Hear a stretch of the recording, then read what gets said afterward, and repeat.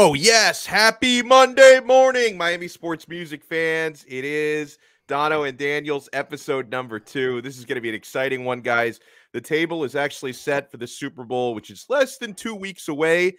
Couple really good games. Good morning, Stephen D. I'm Alex. Good morning, Stephen D. And I know, I know we've got a lot to say before we fully break down what happened at yesterday's games and what is going to happen here down the home stretch of the Miami Dolphins head coaching search. But let me start off by saying, Steve, I didn't know how conference championship weekend would be after an epic divisional weekend the week prior and we ended up getting two incredible games yesterday. So the nfl playoffs the wild card weekend was kind of weak but since then the nfl playoffs have delivered. The last two weekends have been absolutely amazing. The divisional games all three games were within a field goal and uh, the fourth game being four points. And then yesterday, yesterday's two games were absolutely amazing too, both coming down to the to the end. And uh, I mean, look, you you know, I, I remember turning to my wife yesterday, and we'll talk about this more later on in the show, just saying, hey, look, the teams looked absolutely amazing. But, you know, I am excited to talk about that and a lot more on uh, episode number two of Donno and Daniels, man. Yeah. I don't yeah. like your Batman hat, though. Oh, are, are you because you're anti DC? Is that right? No, I'm Superman. Oh, you're Superman guy. Superman. Listen, you know, I mean, Batman. Batman kicked Superman's butt. No, he Batman did not, Super- bro. He, he no, was literally he, he was about to kill Superman, and then they bonded over the fact that their moms have the same name, and then they became friends and lived happily ever after. But Batman was like this close to killing Superman. Just take the L, bro. Bro, really? We're gonna have to have a whole episode Batman versus Superman, bro. Because like you wearing that Batman hat right now is doing things to me inside of me. It's triggering me. I'm feeling triggered, man. I'm feeling so triggered. Hey, real quick before we get started, can we do a rundown? Uh, I, I want to remind everybody. Look, hey, this is the most awesome morning show in the world, right here, every Easily. Monday, right? Easily, Right? yeah. Oh yeah. Oh yeah. Every Monday, live, nine thirty, Tuesday through uh uh Friday. Hold on. Tuesday through Friday, starting at 9 a.m. You got clock blockers. I mean, they're the number one Miami fan morning show. You got the Power Hour starting on Tuesdays at 8. Uh, you got Hellfins, and there's a whole bunch of more shows that are in the lineup. And I'm just super excited about everything that we have going on. So I am uh, wanting to say, hey, look, we got that going on. But some one of the things that I love about this job, Alex, is Twitter. Do you love Twitter? Oh my! I, I, think anybody who's been following me the last couple of days knows I love Twitter a little bit too much because I I've had maybe I've had some fun at the expense of a certain Hawaiian quarterback. okay, okay, all right, um, all right. Look, so I want to I want to I want to talk to the fans for a second. Whew, how do I kind of put this into? So I I, one of the reasons I started this platform, Donno, is because I love the Miami Dolphins and I love everybody. I'm Mr. Spread Kindness, Positivity, and Love. You can see right below me. Stephen D. SKPL, Spread Kindness, Positivity, and Love. And, um, you know, one of the things that I love about this platform that I've had is I've had a lot of different things, a lot of different entities come onto this platform. Uh, YouTubers, uh, news websites, media outlets, you name it. And I try to say that I am the Switzerland, that everybody can come on my show. It's safe here, it's fun to talk about. Uh, and I get like uh, what Twitter is sometimes, and, and it's my favorite to do. But I also get how people can be sometimes. So Fridays, mm-hmm. I, I usually wear this shirt. It's called Spread Kindness. I love it's it. It's contagious because I don't think there's enough kindness in this world. And let me tell you, and some of the things that I saw this weekend on Twitter were like absolutely like not even just Twitter, just YouTube, Twitter. There's way too much hate going on. Way too much hate going on. And so I need to talk to you all about that real quick and just be like, there are plenty of people, like I do the show every day, right? I do it every single day. You do a show every single day. Mm-hmm. And it's not easy to do it when it's on your own platform or you're on a new platform. I mean, you've been on a couple of new platforms over the last year and a half, Alex. I have, and, yeah. And, and so we know how hard it is. And then me dropping um, you know, uh, you know, this podcast network six months ago, it's been really difficult for me. And I don't want to speak for you or anybody else, but I know how difficult it is. So when I see some of the hate that I saw this weekend on Twitter and on YouTube, I don't think that it's worth uh like I don't I, like I try not to do clickbait. I don't think I have. And I also try not to do um you know like trying to defame or defame to to slander somebody else in order to raise my level right of whatever i know that i've made mistakes on my platform in the past i'm not like saying i haven't but i also know that i try to lead with kindness and positivity and love it's tough to be positive being a Dolphins fan. There's no doubt about that. Very tough, especially and, for long suffering Dolphin fans like you and I and a lot of the people in the chat. A hundred percent. Um, I just need to be understanding that other people are upset and pissed off and and and that's what it's going to be, right? Yeah. But I also know that you don't have to slander somebody else in order to get your point across. If you don't like, here's the best part about having a hundred different people. like let me let me put it this way. I'm trying to figure out the best way to say this, Alex. I love stand-up comedy. Me too. And stand stand-up comedy isn't for everybody. I don't get political on my show, but but mm-hmm. I'm gonna make a point here. I love Dave Chappelle. I absolutely love Dave Chappelle. And I know Dave Chappelle can be very controversial to some people, right? And I've always said that stand-up comedy, you find a person that you enjoy, and that's who that's the type of comedy that you enjoy. But that doesn't mean that's the type of comedy that everybody else enjoys. Same idea with Dolphins YouTube platforms, same ideas with with with media outlets. There are going to be some that you enjoy and others that you don't. You know what you do? You turn them off. Mm-hmm. Mm-hmm. Or you just say, "Hey, look, that's the type of person that that is. I don't have to, you know, say X, Y, and Z." Yeah you got to remember, like I do this. Like if somebody's gonna slant, like put me down, nobody did, by the way. Let's just put that out there. I've just observed. I'm just stating on what I've observed over the last 48 to 72 hours, and I don't like it. And I don't like it. I hate it. And there are some people that are on that watch my show who I love, my listeners who I'm calling out on some of this too. Mm-hmm. Because I there needs to be more positivity in this world. I agree. There needs to be. And I'm just, I'm so upset and kind of disgusted that this is the point that we've gone to that we're going to start beating each other up metaphorically, you know, uh, verbally assassinate other people because of maybe what we like. I'm not going to talk about anybody particular situation. Just know that everybody out here is trying to do something that they love to do and or make a living and or provide good content for people. Yeah. Stop. Uh, listen to me, y'all. Stop slandering, degrading, being mean. None of that is necessary. If you don't like me, feel free to turn me off.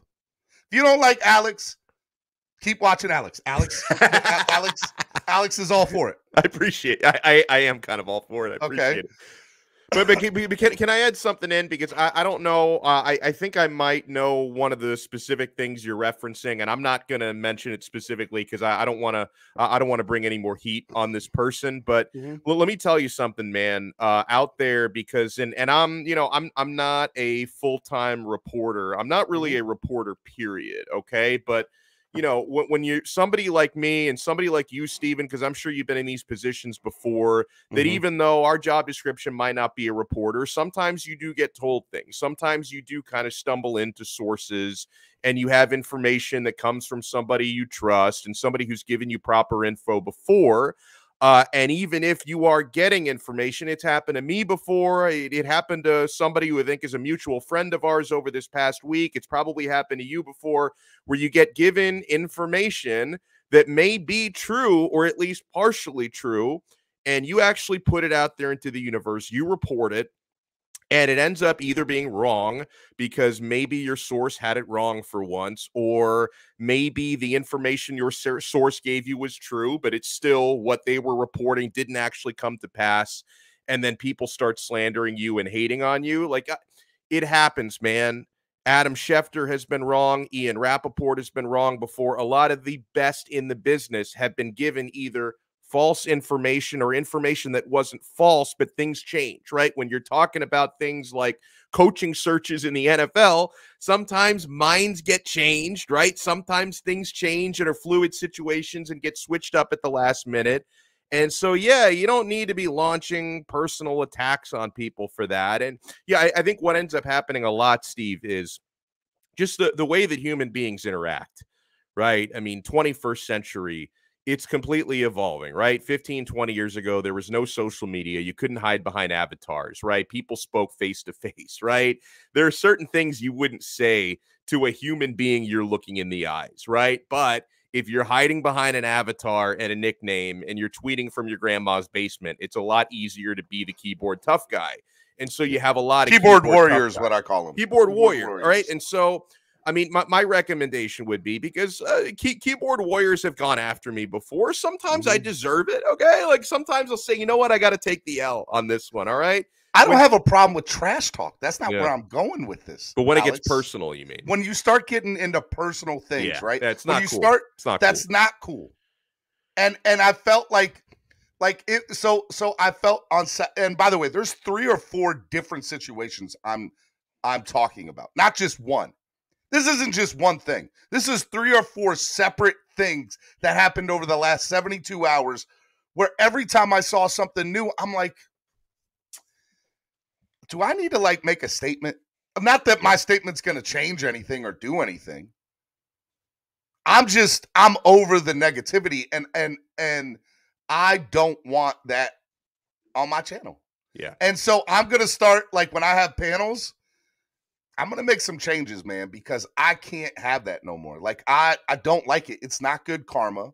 It's not good. Like there's nothing positive that comes out of it.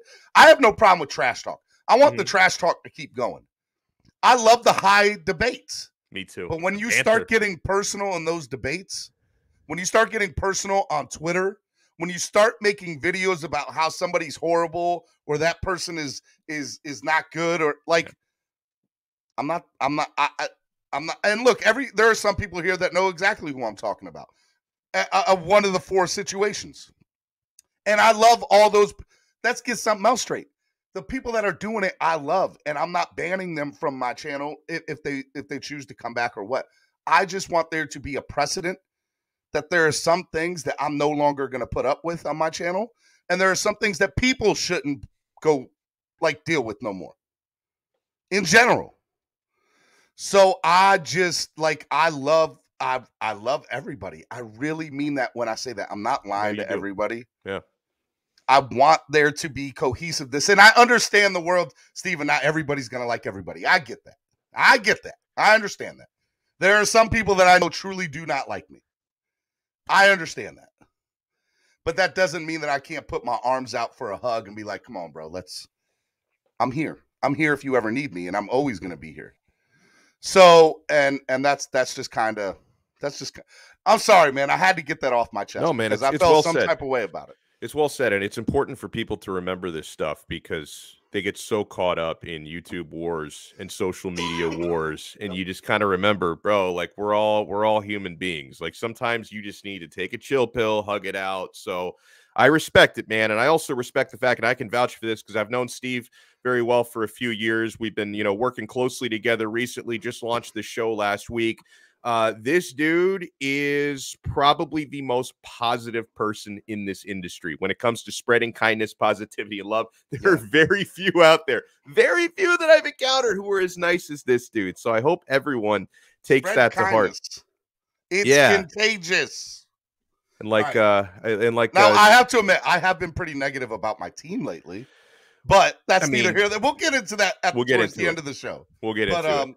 You know, uh, so I appreciate you letting me say that because I was like, do I say course, this on man. Donno and Daniels or do I wait to do this tomorrow on Clockblockers? Because I didn't know, uh, but I couldn't wait. Like I saw some stuff as early as this morning on Twitter, and I was Sheesh. like, I'm like, no, I'm not waiting. I got to say something now. But um, all right, real quick. First of all, how was your? uh You had an anniversary. I did ten years. The big 10 years, man. I can't believe it. Can't believe it. Went out to a nice dinner on Friday. Uh, how many years you been married now? Oh man, you're putting me on the spot. Uh, twelve years, going on thirteen. Okay, so you got me beat, but you know, I mean, t- ten years. So you've been there. I didn't know if you'd been past the ten year barrier or not. It's a big milestone, man. Ten years is a big milestone. You know what they say about fifty percent of marriages end in divorce. We're happily Mhm. married.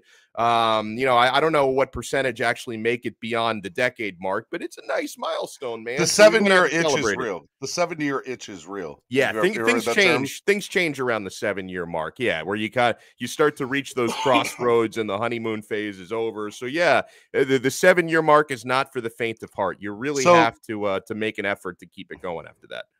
Uh, uh, do you do you think that um, or do you think did you uh, take your wife out through the drive through and have her order from the right side of the menu instead of the left side?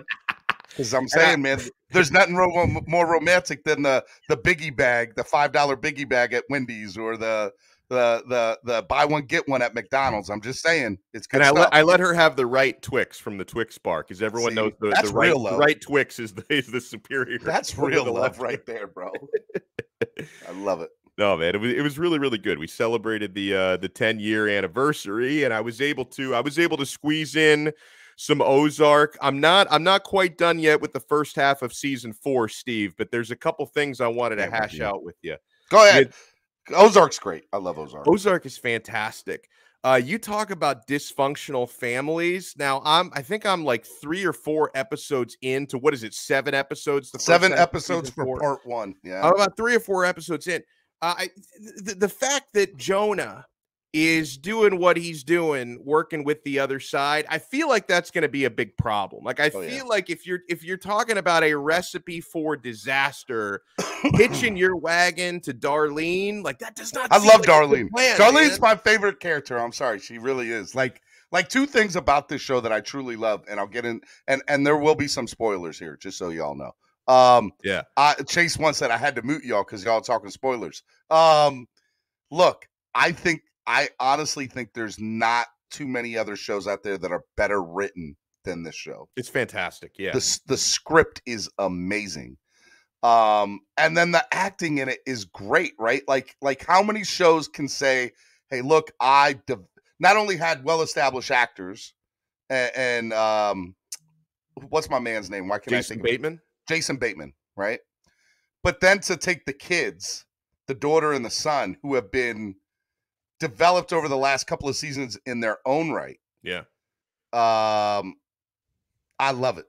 I absolutely love it. And and and then you know having darlene who's just been oh my god she's so good. Like i i, I look i said this to my wife the other night. I said i said i don't care how this ends i said two things are going to happen number one only one person's going to like one entity's going to make it out of this positively Yeah. so will that be the family i truly don't know I but don't I know, but I know I want Darlene to make it out of it. I want? Darlene to make it out of it. I do. I think like- something like- bad's gonna happen to her. She said, like my favorite. All right, so I'm about to cuss, which I, which I don't. which- Oh, oh, I'm about to cuss excited. because my favorite line. All right, so if you have kids, put yourselves on mute. My favorite line of the entire show is Darlene's. I don't know shit about fuck. All right, because I, I, a I great line. constantly. It is the That is best a line ever, bro. That is a great line. So yeah, I, I, I love it. I love it. I, yeah, I, I just I just love how uh, how you know she she was dead set. You know, she lost her her supplier. Then she is dead set about letting you know the uh, the hipsters you know market like the designer weed, and then and then uh, and then she sees the stack of money. She's like, "See, this is why I hired you." I know. And then they had Tommy from Power in there now too, which is like he his character's really. you know, I didn't watch Power. You didn't watch Power? No, I didn't watch Power. out, Alex. That's what people tell me. I remember I, I knew a couple people who were really into Power. Maybe I'll get into. I mean, it's it, did, did Power end well? Like did did it did it finish? Uh, Yeah, it did. But there's it- different. if it there's different. Well, there's like spin-offs, right? there's spin-offs. There's Yeah. spin-offs to it, and There's and a lot going on there. there's like different books, like like they call it books, like the Book of Boba Fett, which by the way I love. Haven't started that yet either. Oh my god, I'm slacking on my TV. you are so slacking, bro. So slacking. And then I just watched Netflix's uh Sean Payton movie last night with um Was that any good with Kevin James? Kevin James plays Sean Payton. I'm not going to give any spoilers there because that just came out within the last Yeah. 24 to 48 hours. Yeah. Bro, worth all one and a half hours or Really? or yeah, worth it. worth it. right now No, no, I gotta ask you though, because like, um, at, at any point were you just like, you know what? Yeah, I can suspend disbelief enough to believe that Kevin James is Sean Payton. Like, did could he I it it's off? not like that. It's not No? like that. It's it, it's it's like you don't you like his character is Sean Payton. Don't get me wrong, but like it's good. Like you have to watch it. It's tar- hard. I can't put it into words, but like I didn't have any issue stating, "Oh wow, he's Sean Payton." I can't believe he's Sean Payton because the movie is not like that. It's it's Okay. a co- it's a comedy, um, and it's it's it's really good. It's really really good. So let, let- let me ask you a question going back to Ozark because you you brought this up and it got me thinking. Do you think that once the show is over and there's going to be a second half of season four, it's probably going to come out, I don't know, in a year or so? They better drop that thing less. Like I, I want that so. thing to. We're dropping season four today. Like that would be great. That would be two. fantastic. Part two. Yeah. No, but do, do you think that the writers are going to let Marty Byrde get away with it? Because something something that I've noticed, okay, on TV shows like this, right? And obviously no no two shows are exactly the same, but Breaking Bad I would consider to be kind of a similar show uh, to Ozark. And I think that the people who write these shows, they feel that there is this moral obligation to give consequences to people who do terrible things. So I at the end of the day, I wonder if the writers of this show are going to say, you know what? Marty's going to get away with it, right? Because in the case of Walter White in Breaking Bad, like uh, I know that this is something that went through Vince Gilligan's head, who was the showrunner and the primary writer of that show, was I can't let this guy just ride off into the sunset, super rich, cancer free. Because remember, can. Walter White had the upcut, but they didn't though. At the end of the day, like I he know. ended up, he ended up getting killed, right? And I think that that it- To- Tony. Spoiler alert, Alex. Dag, I bro. mean, for, for a show that ended eight years ago, my apologies. My apologies. Nine years ago. I think it was 2013 when that show ended. Now, people kind of wonder what really happened at the end of The Sopranos, right? But there were a lot of hints. It seemed like Tony Soprano did get killed, but they Yeah. didn't actually show it on you never know. You never know. never That- that- that's one of those things where it's like, did he really just get away with everything, or did he get whacked right after the, the Bro, screen faded whacked. to black? we right? all know he got whacked. I think he got whacked. Uh, it's been it's been my theory since that show ended like 15 years ago. So in in the case of Ozark, do you think they can let Marty get away with it, win everything, get off with a happy family and, and bundles full of money, or is something either going to happen terribly to him, something going to happen terribly? I hope not to one of the kids. Uh, I, I could see Wendy maybe getting away with it. I don't know, even though she, she she's a badass. Like well, Wendy is uh, She. she is funny, a like, cannon. Uh, I mean, think about where her character came from the beginning to like the end. But what I'll Yeah. say is, my working theory is that only one entity Right, is going to survive everything. So it won't be Darlene and right. uh, what's Jason's character's name? Marty. Marty. It won't be. It won't be. It won't be Darlene and Marty both being. It'll only be one. One of the two are going to be able to get out of there with it, right? So, my that's my working theory. Do I think? uh, But the whole show is based on people doing bad things. All the characters are messed up. Yeah. So yes. And and and I asked my wife, I was like, "Do you think everybody's going to get killed at the end?" And she's like, "No, somebody's going to make it out of this." So Somebody's gonna make it out of there. Yeah. but but there but we're both of the mindset that in the second half of this pa- of the last season here that there's going to be a two or three big characters getting killed. Oh, for sure. For sure. There has to be. there has to be. So, uh, look, I I we all saw and I won't say but we all saw one of the big characters die at the end of part 1. So, you know, that was a big which I was happy about cuz I didn't like her. But that's neither here nor there. That's neither here. And see, I said her, so now I even spoiled it more. But Thanks a lot, Steve. I know. Um. All right. What what what's now? What what are we talking about next, Alex? well, do do you want to get into the incredible display by Joe Burrow yesterday? Do, do you want to get into the football stuff, or do you want to get through a couple TV things first? Well, I I just I, what I really wanted to do real quick is talk about how good like uh, South Florida teams have been the Heat and the Panthers. Oh my real god, quick, yes, fair enough, fair enough. you know, Yeah, because those Uh, are what real good teams look like. Like we're gonna get into the playoff talk and the coaching search, no doubt. But like, I just, it's so weird to see a team from South Florida be actually good. You know, yeah. like it- consistently. Well, and and with uh, and and with the Heat, obviously, I mean, I think they have a truly special team this year, even compared to years past. But in in the Miami Heat's case, this has been a consistently well run organization going back to the mid '90s. They've had some ups, they've had some downs. Even Pat Riley, who's basically a god, has made some mistakes before. I mean, the Hassan Whiteside, Dion Waiters, James Johnson, Tyler Johnson contracts. Like he's had he's had a few missteps here and there, but you've got now a team, Steve, that is constructed so well uh, with people like Jimmy Butler and Bam at the top, and Tyler Herro developing into an elite NBA scorer. But the depth on this team is crazy. I mean, you added a guy like PJ Tucker with championship experience to add veteran leadership to this squad. Yeah, I know Kyle Lowry has been dealing with some personal stuff lately and has had some ups and downs. But once you get into a playoff series, you're going to see just how valuable Kyle Lowry is. Another guy, elite point guard with championship level experience. But what's really insane about this Heat team is the depth is ridiculous. Mhm. I mean, relying on people like Max Strus and Caleb Martin for extension for extensive stretches like the Heat have had to do this year, Gabe Vincent.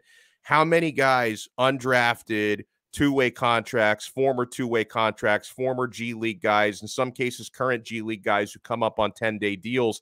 And it's just been this weird thing where they've made the most of some terrible things that have happened this year. With the amount of injuries that they've had and they've had so many guys coming in and out of the the covid protocol. And for most teams when you have to go several nights without best players on your team like jimmy and bam tyler herro has missed a lot of time. It's like you just don't expect to win games like when you have oh we've got two of our four best players out tonight we're just we have to tread water we're have to survive we're not going to win tonight and they've won most of these games when they've had to rely on you know the Gabe Vincents and the Max Struses and the Omer Yurtsevers of the world. And obviously, once you start getting down to March, April, when you're talking about playoffs and you're talking about the stretch run, we've got to cut it out with the injuries and and the protocol stuff. Hopefully we get through that and we hope hopefully we don't have guys in and out of the protocol at that point. But in the meantime, when you've had days in November, December, and January where you've had to go so deep down into the bench and people are contributing, it's developed so much depth for this team. So it's going to make this team better. Like Erik Spoelstra is going to have a much more reliable eight, nine, 10 guy rotation late. And if you do have, God forbid, any more injuries when you play the important stretch run games at the end of the year, you know that whoever you have to plug into that rotation is going to do well because they've already proven it to you. Now, in the case of the Florida Panthers, uh, this is a team where, yeah, you've had a core of guys, the uh, the Barkovs and the Huberdeaus, and my God, Huberdeau is having such an incredible year that have been on this team for eight, nine years and have been kind of that core developing. But all the pieces that GM Bill Zito has added to this group in just the past two years, he has fortified this team so quickly. They've built this team with a clear identity. They are an offensive juggernaut. And, and you know, when the goaltending is good and Sergei Bobrovsky is having a renaissance year, and I hope he can carry that into the playoffs, you're talking about a team that could be historically good. Now, they have to back it up in the playoffs, but when it comes to their offensive output and just the pure joy of watching these guys play, like the other night, I'm watching them, they're down like four to one, and they end up coming back and winning the game in overtime. And you can count on them doing that night after night after Night. night after Yep. night. Uh, it's amazing how quickly Bill Zito, the GM, has revolutionized this team. And the thing, Steve, that's extra incredible about this is, you know, a few months back, three, four months ago, whenever it was, and you had that Chicago Blackhawks scandal that ultimately cost the Florida Panthers coach his job. And I'm not saying Mhm. he was innocent of it because if if he knew about those things and he was covering it up, he absolutely deserved to be fired. Talking about Coach Yeah. Q, like he deserved to lose his job. But the thing is, like Coach Q is considered one of the best NHL head coaches. You had to let this guy go mid-season. You've had an interim coach and Andrew Brunette who's doing a very good job to his credit, but it's like doesn't even seem to really matter who's coaching this team. Like they are that talented, they are that well led. The locker room or the dressing room, as you would call it in hockey, is so strong that they can overcome adversity like that and not skip a single beat. You know, I, I, one of the things that I, that I want, I think you made all great points. I think one of the things that I wanted to touch on more was I have a lot of Dolphins friends, a lot of Dolphins, a lot of Fins family Mhm. that are, that are fans of these two franchises, right?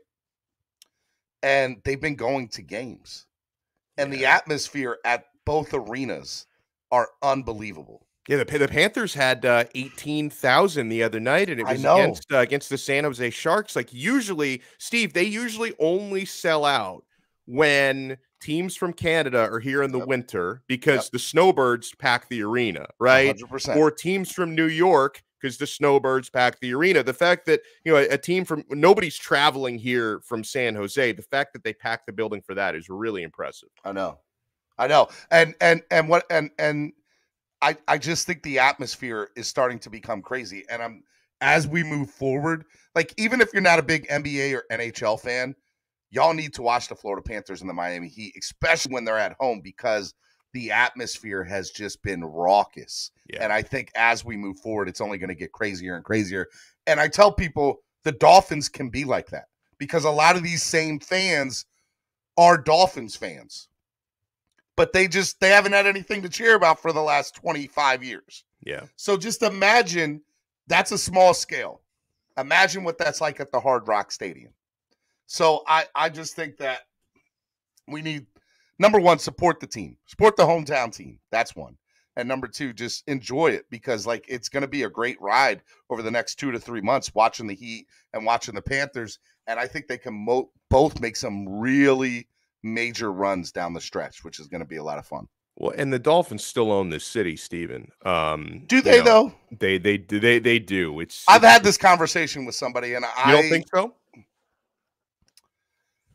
I mean, I want to get into playoff talk before we really get into Dolphins, Okay. but but okay. I but no, I don't Ooh. because like at, like look here, I've been I went to a lot of the home games this year, and I would say at best most times it was 60 40 50 50 the fans. Okay, that's interesting to hear that because I actually I have not I I haven't been to a home game since uh two seasons ago. I actually have not been to a home game since I was covering the home games. I've I've I've, I've sit I've sit a couple of years out, so I haven't I haven't been amongst the people like you have the last couple of years. Mm-hmm. I mean, look, I I'll say that like that that uh the Ravens game that Thursday night. I mean, there was a lot of Ravens fans there. There were a lot of Ravens fans at that game, right? Um, and the same thing for uh the last game I went to, which was the Jets home was the Jets home game. There were a lot of Jets fans. The Jets are horrible. They're worse than us Yep. and there was still a lot of Jet fans there. So, do I think that the Dolphins can be kings of South Florida? Yes, but I think Dolphins fans right now are just pissed off, and it's tough to support a team with money, you know, financially when. Like uh, who's like think about a cost of a family of four going to a Dolphins game. Oh my god, I can't even. That's like three or four hundred bucks. Yeah, easily. easy, easy. You know, and you can spend that in tickets and parking in in some situations. Yeah. You know, so look, I, I think that people have to realize the Dolphins are can be the kings of South Florida, but they got a lot to do. And part of what they need to do is copy what the Panthers and the Heat have done, and that's putting a product out on Yeah. your home, you know, field, court, whatever, and, and making the fans real. Like I feel like what the Panthers are doing right now is they're making South Florida realize, guys, this is your hockey team Yes. and we are the best in the league. And y'all need to come out and support us because it's wild crazy here. I mean, South Floridians, they always want to feel like they're getting their money's worth. It's it's a discerning audience, and it causes, you know, people from other markets, they trash the South Florida sports fans. Oh, look at that, an empty stadium, empty arena, they're not showing up. It's like, okay, like you okay, you you, you can call us fair weather, uh, whatever you want to. I mean, obviously there, there's a lot more to do down here, especially this time of year, than most places around the country and people will spend their money. They'll buy tickets, they'll buy parking, they'll bring their family if the team is good. If the team is 100%. garbage, if the team is garbage, they're not going to show up. And, it, and if you think that's some kind of a sign of weakness in the South Florida sports fan, I guess you're entitled to that opinion. The fans are there. And that's why I maintain it's still a Dolphins town. Just the Dolphins are a sleeping giant right now. Uh, obviously, the Heat for the last, you know, almost 30 years have given people more to be satisfied with and spend their money on than the Dolphins. The Florida Panthers have gotten there. Uh, you know, I, I I worked on the Panthers broadcast for many many years, and I saw some arenas where there were probably a few hundred people there when the team wasn't very good. And now that they are good, people feel like, you know what, this is good entertainment value for my dollar. That I'm actually going to spend money. I'm going to go to FLA Live Arena and watch a game because I know they're going to put up a lot of goals and probably win tonight. Uh, the Dolphins are not at that point right now. You know, the Miami Hurricanes, who I also love, have not consistently been at that point for a yeah. really long time. And I, w- I went to a game this year, and it was it was it was a not a great atmosphere yeah. at the it Hard happens. for, it for the Hurricanes. Yeah. yeah. yeah, not at all. Um, okay, let's get into the playoffs, baby. What did you like about this weekend?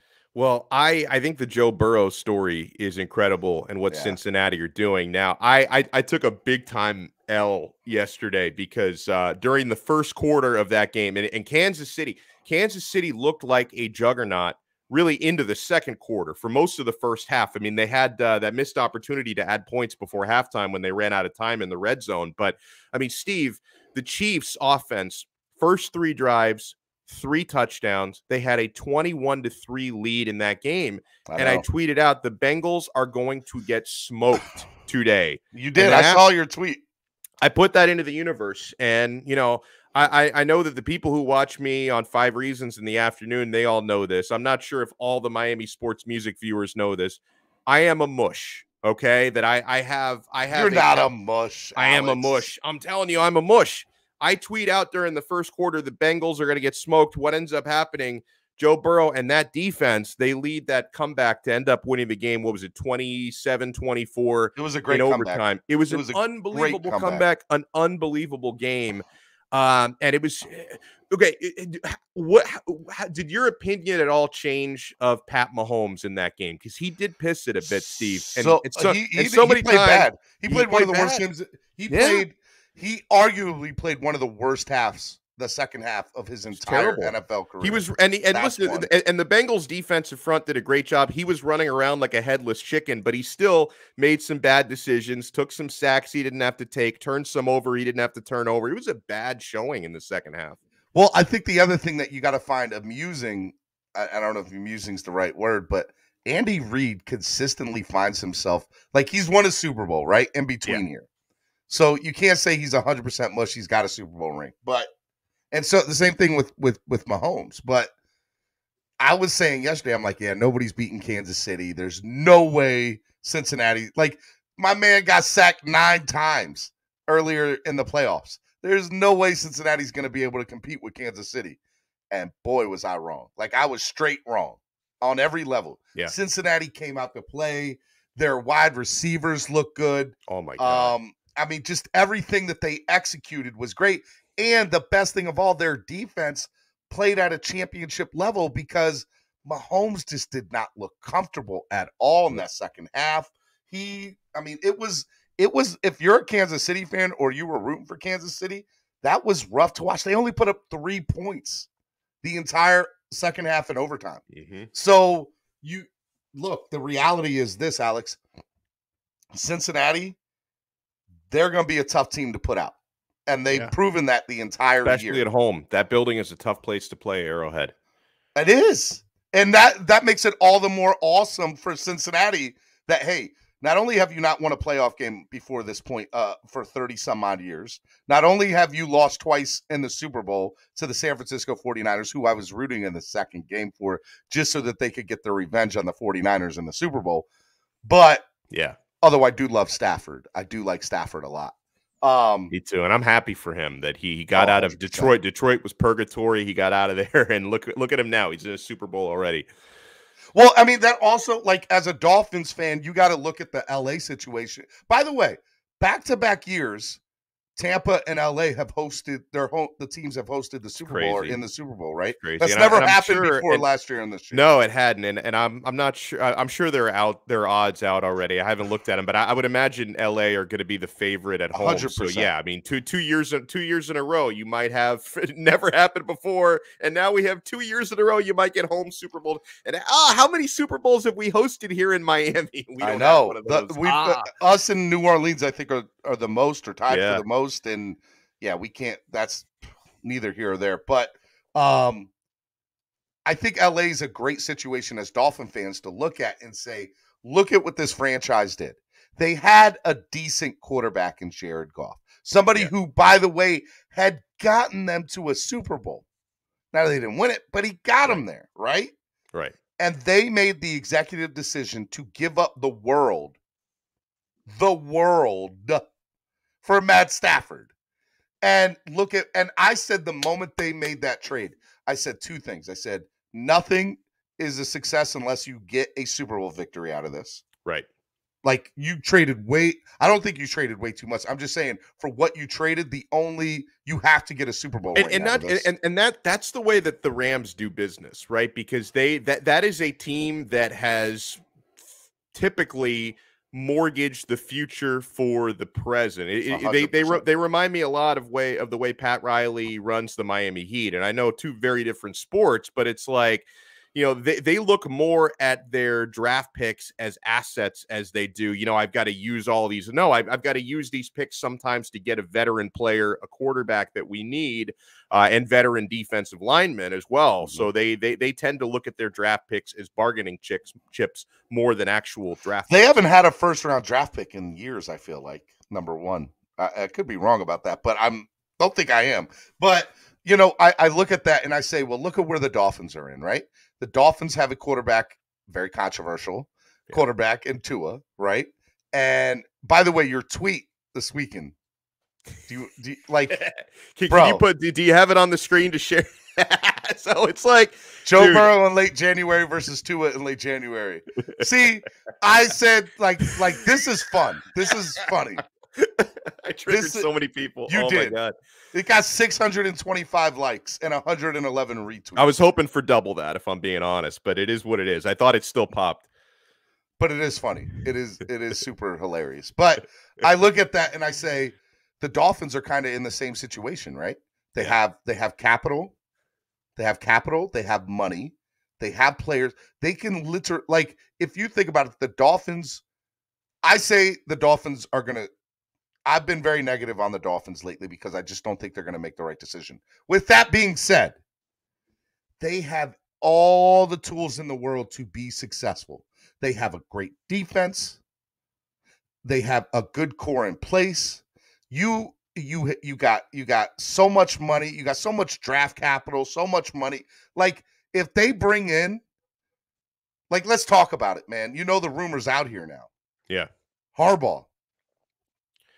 Can, can- can I- Harbaugh, man. Can, can I read you on that note? Because I'm I'm legitimately uh, I, I I don't know what is happening here with Harbaugh. I know that there I, I I've even been told by somebody who's given me good information and bad information in the past. So I take it with a grain of salt that uh, that he was telling me over the last couple days. Harbaugh was the plan all along. You'll Yep. see he's going to end up in Miami, and I know a lot of people feel that way. Now I'm I'm reading a tweet, Steve, that came out after our show started from Jeremy Fowler of ESPN. Jeremy Fowler tweeted out 26 minutes ago. Jim Harbaugh conveyed legitimate interest in the Vikings head coaching job during his interview with the team, per source. With Minnesota coming away feeling Harbaugh is ready for a return to the NFL. As of now, he's still considered in the mix for that job. So, out of, and I, I'll, have to find it. I can't remember who it was that tweeted out uh, yesterday that Harbaugh was There's- going to inform. Yeah, yeah, that's the tweet I was just reading there. Okay, so uh, see if you can find this Mark Carman tweet as well. From this is the one that gassed up Dolphin fans about 19 hours ago. He tweeted this. Now, I'm not that familiar with Mark Carman's work. People have told me he's a good reporter, but Mark Carman tweeted out yesterday hearing from a reliable source, and that's if you're looking for it, by the way, Carman is spelled C A R M A N, C A R M A N. He said, Hearing from a reliable source, Jim Harbaugh will tell the team today slash tomorrow, that being Michigan, he is leaving to be the head coach of the Miami Dolphins. Could have taken the Minnesota job, preferred Miami. He says in parentheses, outside chance Michigan pays over the top and he stays, but bet on Miami, he said. So um, I haven't nobody, nobody reliable has been able to verify this for me. Again, the, the person who told me this is true is someone who has given me good and bad information in the past. So it's not, I wouldn't call it a tier one source. I would call it a tier two or a tier three source at best. But what do you think, Steve, is going to happen here? Do you think uh, a, a, lot of people in the chat are saying he's going to the Vikings. Like, what do you think happens with Harbaugh? And and would Harbaugh even be your first choice? He would be mine, but I know he, a lot he was, people. He was one A. He was one A for me. Yeah. Like Who's one B then? Or one B. He would be one B. One A would have been would have been for me would have been Caldwell. But I right. put them in the same like I put them in the same boat, right? So and Doug Pederson's up there too.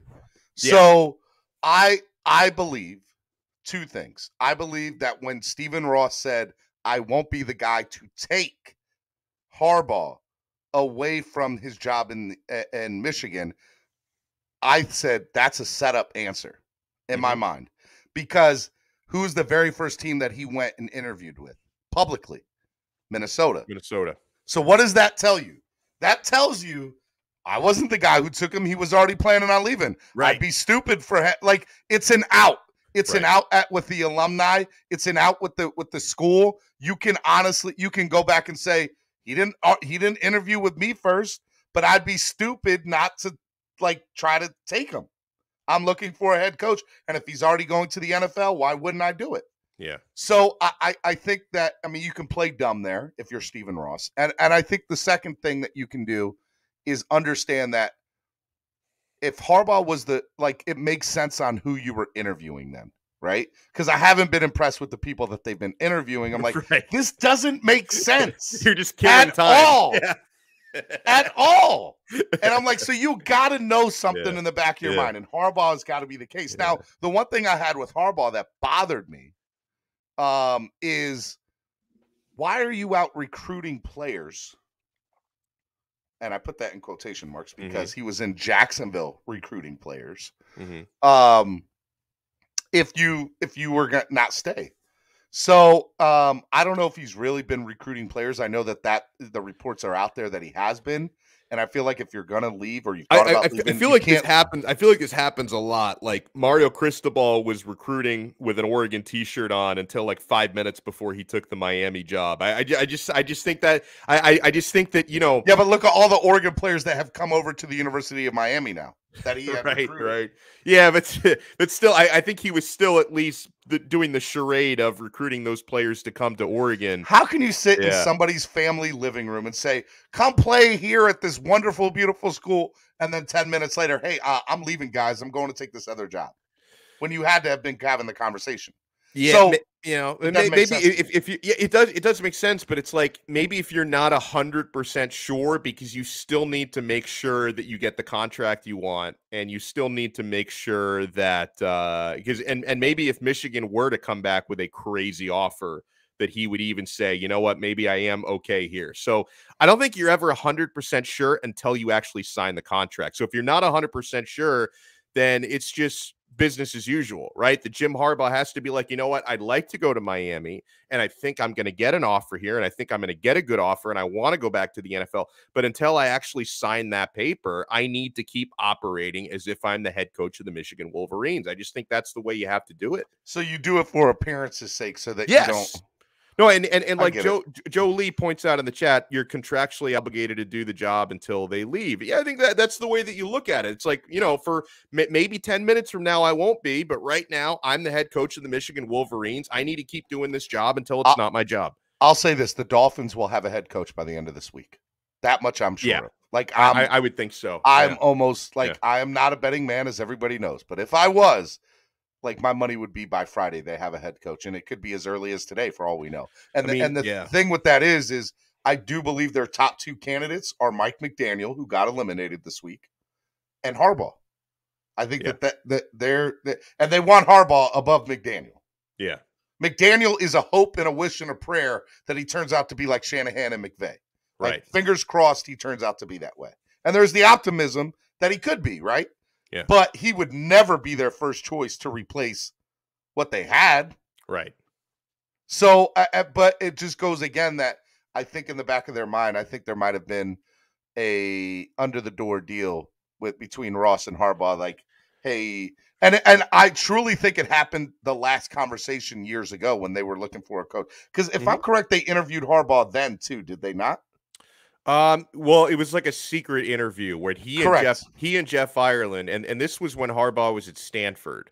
Uh, Jeff Ireland and Stephen Ross, they took a private jet out to uh, they probably met him in Palo Alto where Stanford is, and they kind of made him a pitch. And for whatever reason, uh, it didn't work out. And I, I think maybe Harbaugh was like, Hey, I, like, how can you offer me the job right now when you haven't even fired Sparano. It was just an awkward thing and it didn't come to fruition. But yeah, maybe they did talk about it then. Maybe they talked about, hey, even if it doesn't work out today, Ross looked him in the eye and said, someday, kid, someday I'm bringing you down to Miami. I, I I really and I think there was truth in that statement.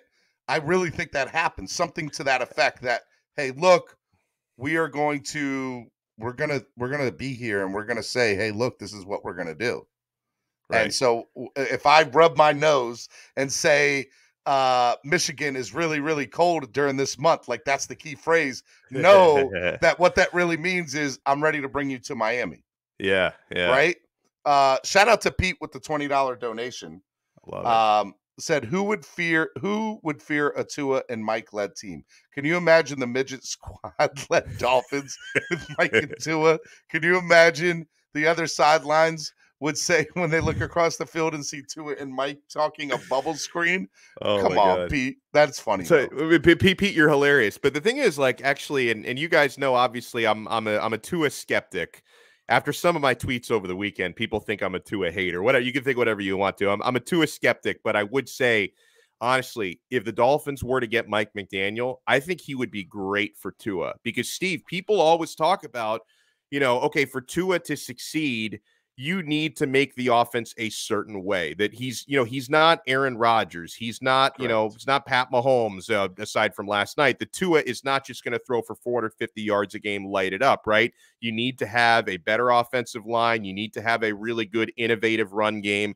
Mike mcdaniel theoretically can give him that. I mean you're talking about a guy mike mcdaniel is regarded as a genius for his offensive play designs and the way that he innovates in the running game. So you're talking Mhm. about making that running game better to take pressure off of Tua and making the blocking schemes better for the offensive line while hopefully also finding better offensive linemen.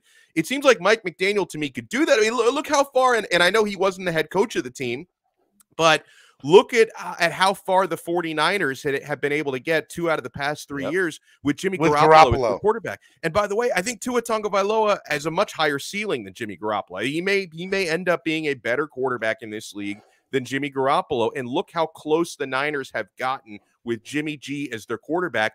I think Mike McDaniel could be great with Tua Tagovailoa. I was saying this yesterday. I was like, you know, I'm watching the game and I'm like, man, Deebo Samuel is, I think, successful because of Mike McDaniel and Yeah. what he did.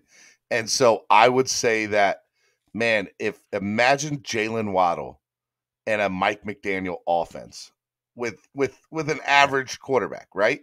So I really think that it, it would be here's what I'll say. I'll say this. I'll think that no matter what the case is, whether it's Harbaugh or McDaniel, I think there's a good chance that Tua is probably they're going to look to upgrade at the quarterback position this offseason. especially if it's Harbaugh. Eh, Let me ask you this about Har. And again, we don't we don't know if Harbaugh's coming to Miami. We don't. Hot, there have been some hot rumors that it could be happening.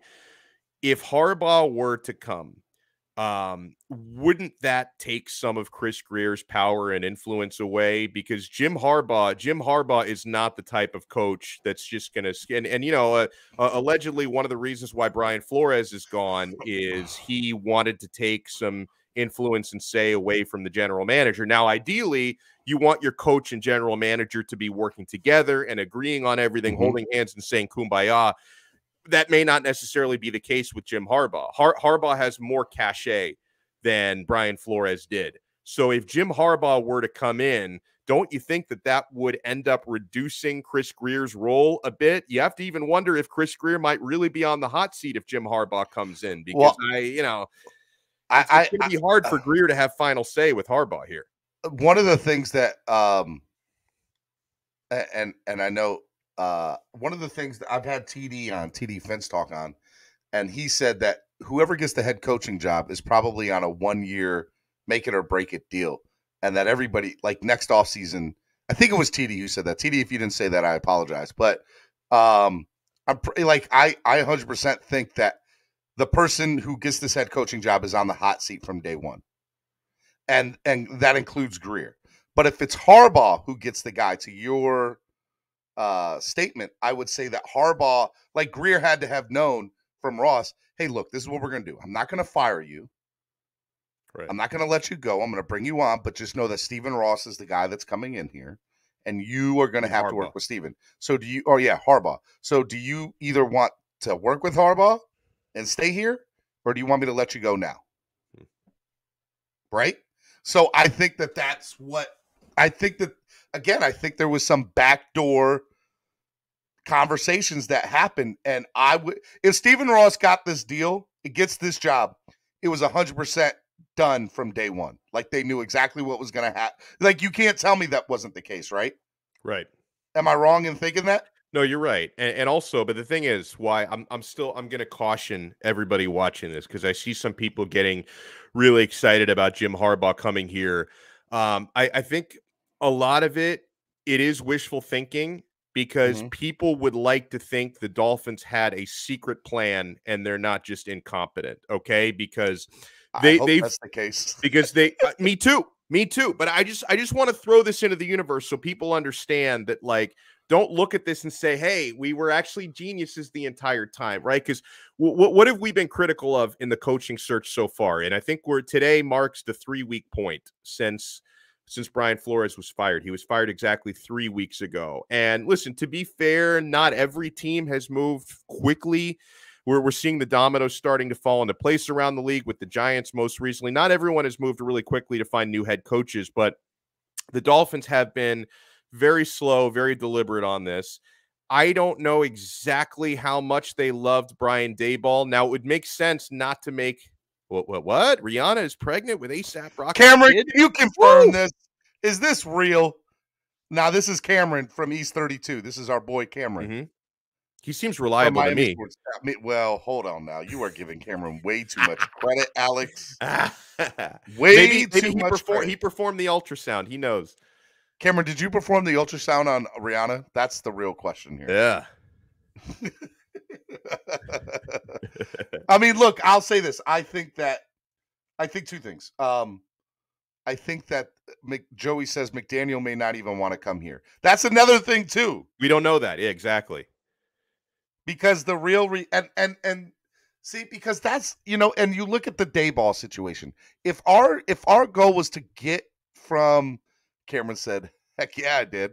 Um, if our goal was to get a a head coach like Harbaugh from from the moment, then you have to understand that the Dolphins already have a plan to move forward from day one. And so mm-hmm. that the Daboll interviews, like even that was Daboll picked, maybe he picked the Giants because we knew we were giving him the runaround, not because right. the Giants were a better job than us. Because he wanted an offer. I want that to be true so bad. Yeah, yeah. Because I look at the situation and look, I don't want, by the way, I think we dodged a bullet with Daboll. Let me just state that from the beginning. Yeah, I, I don't love him but it still doesn't say good things about us if Daboll picked the Giants over us because right. that would be like you're you're killed like you're like why or why can the Dolphins not even do bad things the right way? Like you couldn't even like the decision I didn't want you to make wasn't even made by you. It was made by somebody else because he didn't want to come here. Yeah, the Giants don't even have cap space. It's like it's, they don't have. Eh, they don't. They do not. And and if and you know it's I don't know, man it's just it's so much to think about. But what I will say is, I think next Monday, uh, or not next Monday, because we're not doing the show next Monday. We're gonna Tuesday. delay We're gonna do the show on Tuesday. Yeah, yeah. So we're, it- we're gonna have a regular I'm, clock uh, blockers on Monday. Yeah, because I'm gonna be uh, I'm gonna be road tripping with the family back from Disney World next Monday, so we're gonna do the show on Tuesday. Did you win a championship? Is that why you're going to Disney World? Uh we go we go frequently because uh we have annual passes for me, my wife, and my kid, and they basically make you use your firstborn child as collateral. Those passes are so expensive. So when you have the this is the way I'm all about getting my money's worth, Steve. So if I, if I'm going to pay an arm and two legs for a Disney annual pass, I'm gonna go as often as humanly possible. Like any anytime I've got a free weekend, we're heading up to Disney. Got to get my money's worth on these passes. So that's where I'm at, bro. Hey, can I ask you a question about yesterday? Did you see the cigar smoking with Burrow and Ja'Marr Chase? No, I didn't. I, cigars? I didn't. I saw people talking about it though. Which I mean, listen, re- re- recreate recreating that uh, LSU moment, right? Does it does it hurt? Like to me, it hurts a little bit watching that because you know one of the things I was telling my wife yesterday is I love watching playoff football. Love it. Love the Super Bowl. Love all this. I'm like I don't remember the Dolphins ever playing. Like the last time they went to an AFC Championship game was '93. Yeah, I was five. I was Yeah. five years old. I don't Ooh. remember that. I don't. So like I just I want to see the Dolphins win, man. What do I need to do? Who do I need to talk to? Like, remember Little Nicky? Did you remember that movie? Yes, Little I Nicky? do. The remember the Dan part Marino scene With the Dan Oh. Marino, he's like, Dan, you're too nice of a guy. I can't let you do that, man. Like, I feel like that's the And, and then he says, "You did it for Joe Namath," and then the devil said, "Well, he was coming here anyway." right, right. Yeah. So it's like, it's like, come on, man. What do I have to do to get the Dolphins to be like this? Um, I don't know, man. It bothers me. It bothers me, Well, man. the thing so is, like you, you, you could argue you have to be bold, okay? Um, and listen, I, I know, uh, I know people have differing opinions on the quarterback who's currently in place, but you know, you, you and I saw a couple people say this in the chat that if if you really want to revolutionize your franchise, you go out and you get Jim Harbaugh and you go out and get yourself a quarterback. Now, at the same time, if you want to have your cake and eat it too, is this true, Cap? Now, now he's saying McDaniel is here right now. Well, the follow up interviews are happening this week, so he could very well be here right now. It doesn't mean he's leaving with a signed contract, but McDaniel could be here. And again, I, I I wouldn't I wouldn't lose a second of sleep if Mike McDaniel became the Dolphins head coach because I think he could potentially revolutionize this offense in a good way. Now Well- you talk about needing to get a coach and needing to get a quarterback. Steve, I can live with the idea that no matter who comes in as the coach of this team, you give Tua one more year to really pr- to make or break it, and you try to put him in a position to succeed. Because I do think Brian Flores was he was sabotaging Tua a little bit, right? Mhm. Even as a Tua skeptic, I can say that he was putting he was putting Tua in positions to fail, not to succeed. Okay. And, and honestly, Tua Tagovailoa, he is still on his rookie deal, so he's not costing you much. It's one of the reasons why you have so much cap space is because you're paying your starting quarterback, uh, you know, minimum for a guy who was drafted in his position, right? So you take an opportunity this coming year to try and put him in a position to succeed. One more year where he's not making a whole lot of money, and then if it doesn't work out, then you can move on. Because guess what? The quarterback class of 2020 23 in the draft is a lot better than Than the quarterback class of 2022. Okay. And I would imagine the Dolphins will probably have a higher pick next year because their pick, which is San Francisco's pick, is going to be 29th overall. That's not very good. Okay. So chances are the Dolphins will end up with a higher pick next year than this year, and there's going to be better quarterbacks available. So it just I it mean, makes that- sense. It un- unless you're getting Aaron Rodgers or Russell Wilson in a trade, it makes sense not to move on from Tua now. Look, I'll say this. I think that I want the dog. I want that to not be true. I want us to have the 32nd overall pick eventually one day. Yes. But, Right? but, but, but by our own doing, not San Yes. Francisco's doing. Correct. A hundred percent. Right. And so look, I think I think the we need to understand as Dolphins fans, this next pick, whoever the head coach is, is so crucial for what we do moving forward as a franchise. Because I believe if it's McDaniel, and again, I'll be optimistic. Let me just state that for everybody. I will be optimistic. There will be a point next year where I'll be like, you know what? This is it. This is a great team. The Dolphins are doing amazing, right? I'm sure I'll have that moment next year. Yeah. But if I again was a betting man, I would say if McDaniel's the pick, we're going to be in this boat either with it sometime in the next three years. Yeah. Except it'll be a clean house. If Right. it's Harbaugh, then I think we're making a run at the Super Bowl and we're upgrading at the quarterback I position. like it. Yeah. I'm gonna. That's what I'm gonna say. So I think that I look. I mean, I'm all for Harbaugh. If Harbaugh ends up being the guy, the Dolphins are doing exactly what they need to be doing. Day- Daboll never chose us over them. They can say whatever they want because that Daboll wasn't even the guy to begin with. Right. We don't, you know. And and I pray to God, Kellen Moore ends. If Kellen Moore ends up being the head coach of the Miami Dolphins, Alex, God help this fan base. God help this fan base. oh man, that's that's gonna be a, a rough day. A rough day if that were to happen. I know, I know. Uh, all right, man. What do you got coming up this week? Well, uh Monday through Thursday this week, because Friday I will be driving up to Orlando, so I don't think I'm gonna have a show then. But I've got my afternoon show, Donno Daily, on Five Reasons Sports YouTube every day this week. Uh, I know that the focus of today's episode, I haven't written the uh, the title for it yet, but it's gonna have it's gonna have to do with the Harbaugh reports. Now, may- maybe by the time I go on, maybe Harbaugh has already chosen here or chosen Minnesota. We'll see. But it's going to be a, a Harbaugh centric episode this afternoon. I do every weekday, uh, unless I'm traveling or something, uh, Monday through Friday, 3 p.m. on Five Reasons Sports YouTube. I also have, for anybody watching this who's in the South Florida area, uh, we're going to have a, a little heat watch party tonight in Davie. So stop by the quarter deck location in Davie. Come out and see us tonight. Enjoy some of the great food, drink specials, two for one happy hour. So just search uh, Google search or Google Maps the quarter deck location in Davie. It's right across the street from Nova Southeastern University. Come out and see us there tonight. I'll be getting there around seven o'clock. Well, man, I wish I lived down there. God, I know, dude. You, you you would you would be right there if you did. I know that. I. Just start driving now. Come on down. I'll start driving. I'll start driving in my head. Yeah. Okay. It'll be imaginary, and hopefully, I don't get pulled over by the cops doing eighty. In fifty-five. Okay. You're um, gonna have to do faster than 80 to get here in like nine hours. I think. I know. I know. I'll, I'll tell you. So I came down for the uh, the game we lost fifty-two to ten Ooh, opening week. yeah. Okay, two Yeah. years ago. Yeah. I drove down with my buddy, and it was in the middle of a hurricane that was hitting Atlanta and South Carolina. Oh my God. Uh, he drove the whole way. We drove down 95. We did not hit any traffic till we got past Jacksonville. Wow. And and he did like 85 from because nobody was on the roads. yeah, yeah. Not even not even state troopers, right? So and so and, and it wasn't horrible weather on the highway. So Mhm. we went from Baltimore all the way down to South. Like the moment we hit Jacksonville, we hit traffic. yeah. And then of course I he's like, dude, I'll just drive to Jacksonville. I'm like, fine. But the moment we hit Jacksonville, what it- I mean, it took us just as long to get from Jacksonville to Miami as it did from Baltimore to Jacksonville. wow. Yeah. That is great. so mad. So upset. Um Chef Zhu says he'll be there at seven. I love it. Chef Jew, we'll see you there.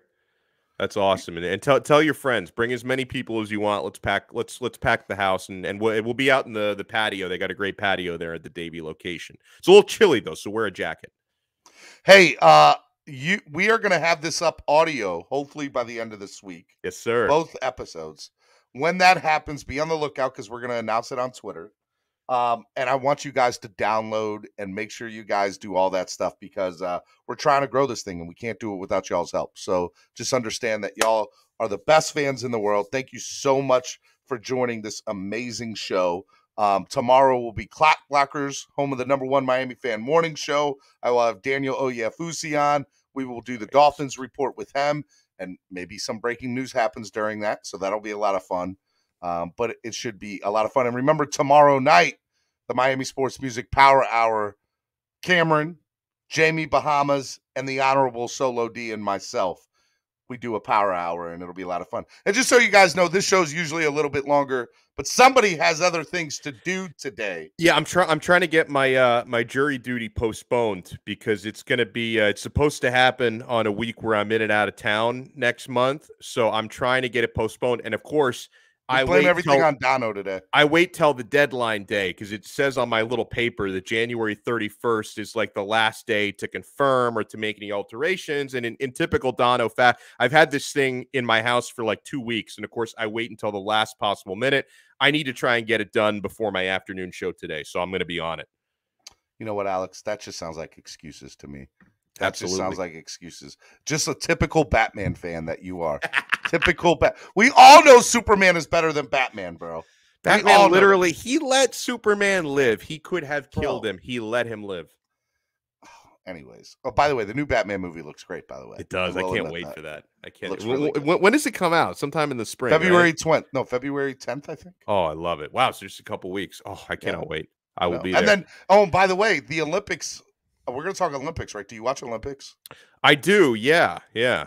Although don't I don't. I don't, I don't That didn't sound China. very convincing. Yeah, but I, I, I am, I am boycotting. I'm boycotting China because unlike LeBron James, I have principles.